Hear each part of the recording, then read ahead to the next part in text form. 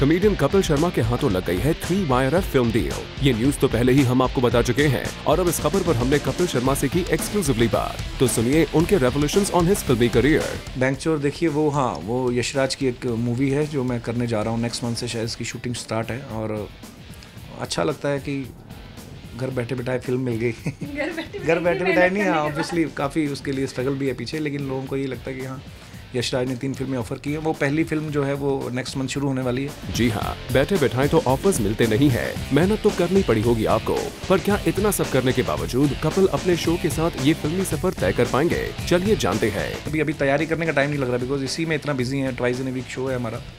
सो कोशिश है कि उसमें भी बेहतर काम करूँ और लोग उसमें भी पसंद करें। अब जब अपने शो के लिए ही वक्त नहीं मिल रहा है और फ़िल्म पर भी फोकस नहीं कर पा रहे हैं तो क्या आपके शो को ट्वाइस अ वीक की जगह वंस अ वीक करना पड़ेगा? Once in a week I have to do because मेरे पास और कोई चारा नहीं है। अदरवाइज़ क्योंकि शो का होस्ट मैं हूँ प्रोड्यूसर मैं हूँ खुद एक्ट करने होते हैं।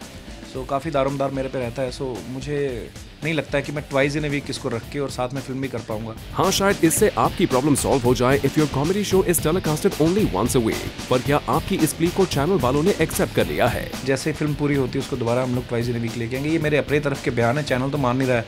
वो तो कह रहे भाई साहब क्या करना है? मैंने कहा वंस इन ए वीक करते ये ले अभी नहीं अभी तो तो मुझे थोड़ा जद्दोजहद करनी पड़ रही है चैनल के साथ। उम्मीद है कि वो मेरी जेनुअन प्रॉब्लम को समझेंगे और इसको वन सिनेमिक लेके आएँगे। वेल कपिल आपने अपनी तरफ़ से तो पूरी कोशिश कर दी है in convincing your channel we hope कि आपकी इस रिक्वेस्ट को वो एक्सेप्ट कर ले ताकि आपके बॉलीवुड सफ़र में कोई अटकले ना आए।